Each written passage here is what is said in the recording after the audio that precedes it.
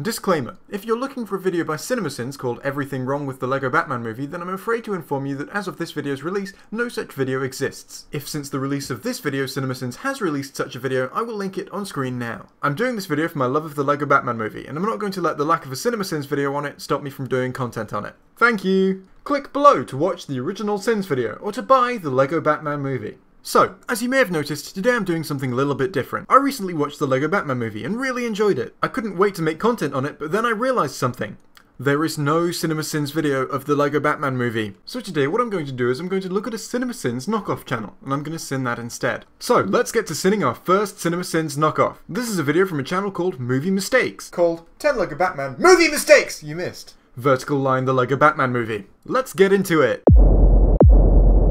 Today, we're going to show you a few mistakes in LEGO Batman. It was also featured in more than 4,000 theaters. Man, that is a lot of popcorn! I don't know about you, but I feel patronized as fuck right now. Mistake number one, during the LEGO Batman song, which, come on, was pretty awesome. I mean, Batman is caught by poison ivy, he's about to be given a deadly kiss, yet when the camera switches from the penguins back to the Caped Crusader, you can see that he's further away from where he was originally. How'd that happen? Because he's Batman. I'm sorry, I literally have no idea what you're talking about. This guy takes an incredibly long amount of time over every individual sin. So much so that I felt the need to speed up that clip. He's not making in-depth points either, he just pointed out one continuity error, but 90% of the things he said were just padding the runtime of that one sin. I mean mistake. I mean sin.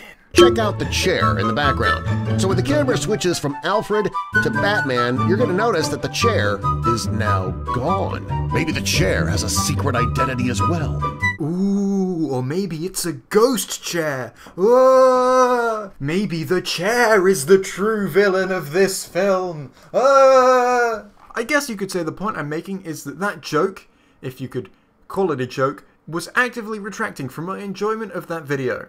Also, I know what you guys might be thinking. Jay, you're being a little harsh on this guy. This content is clearly intended for children, right? It's not that this is patronizing you, it's not meant for you. You're too old to be its target demographic. And that's what I thought too, until I looked at some of the other videos on the channel. Bear in mind, most of these are done in exactly the same style as this one was. Have a look at these and tell me if you still think this is meant for kids. 10 biggest Deadpool movie mistakes you missed. Rick and Morty the Whirly Dirly conspiracy mistake. 10 satisfying Game of Thrones deaths. 10 best horror movies of 2016. Alien Covenant movie mistakes you missed. Yeah, they just don't strike me as child-friendly topics. Oh, and by the way, while I was looking through the video, I also found this one, which is called 10 Crazy Superhero Movie That Actually Happened. So uh, here's another sin for not proofreading your video titles.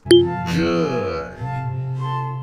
He makes, One out of place frame. he makes his way past reporters to the top of the stairs where no one is near him, and yet as the camera zooms in, you can see that the woman in the green dress suddenly appears in front of him, walks past, and then disappears again. I swear to god, if you make a ghost noise...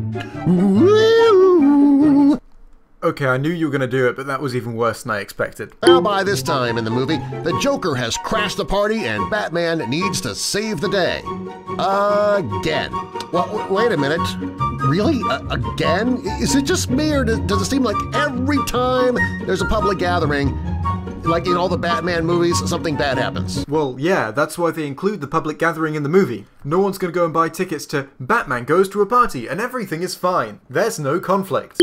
Right? I'm, I'm thinking Gotham probably just needs to make it illegal to have parties at this point. Yeah, sure, why not? That sounds like a reasonable solution. I mean, didn't the Joker blow up a hospital?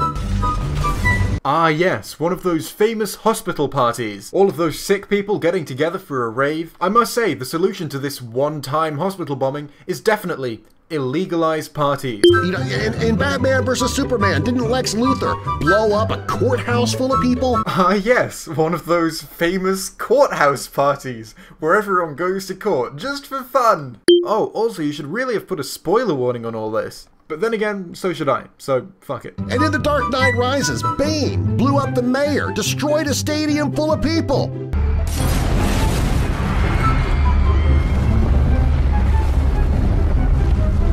This music feels really inappropriate over these depictions of acts of major terrorism. I mean, just look. I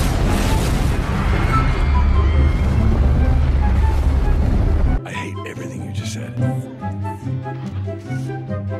You guys haven't been seeing this because I've been cutting it out, but the Movie Mistakes logo appears in between every single sin, I mean mistake, that this guy points out. You know, just in case we forget what video we're watching and the stupidly long drawn out time it takes you to point out one single mistake.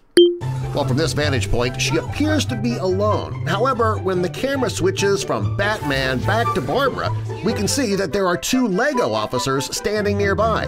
Where they came from, I have no idea. Maybe they secretly work for the Hand. They're actually ninjas, and that's why they're so stealthy. I'm sorry, I'm, I'm mixing up my Batman movies. Please don't tell me that was meant to be a joke. In mistake number eight, we're to stay in this same scene. Yeah, we can tell by the fact that we're still looking at the same fucking scene.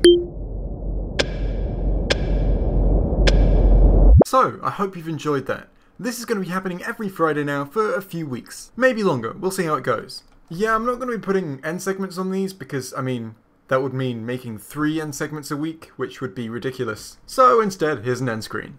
By the way, if you enjoy the end segments where I look at weird comments on videos, then you should try the new video on my new channel which is linked in the top right hand corner. Because basically I've started a series on my new channel where I look at weird comments on YouTube videos, and it's kind of fun. Bye!